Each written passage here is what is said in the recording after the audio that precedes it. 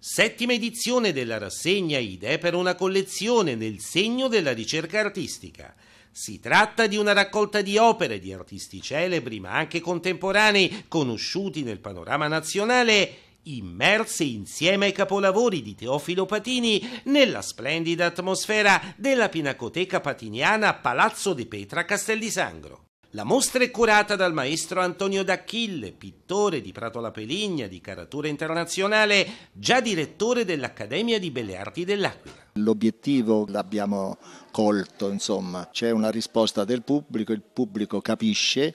comincia a stabilire le differenze cromatiche, la, la qualità del segno, il tocco del pennello, eccetera, eccetera, tutte cose che ad un certo momento eh, rilevate dal, dal pubblico fanno, fanno, piacere poi sentirle. In esposizione le opere di artisti prestigiosi come Renato Guttuso, Jean Miro, Salvatore Dalì, Lino Alviani, Patrizia Ricca e il professor Bruno Paglialonga che si è complimentato con D'Achille per aver messo in piedi una collezione di grande rilevanza nazionale. Questa mostra,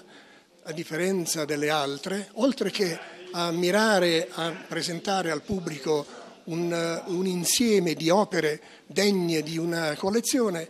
punta in modo particolare eh, sulla ricerca artistica che ciascuno degli artisti presenti in esposizione ha tentato nell'arco della, della, propria esistenza artistica. La rassegna visitabile fino al primo settembre rappresenta un connubio tra pittura, disegno e grafica in grado di osservare la diversità di percorsi di ogni singolo artista. Oramai un appuntamento tradizionale possiamo definirlo perché eh, il periodo insomma, del massimo afflusso turistico estivo deve declinare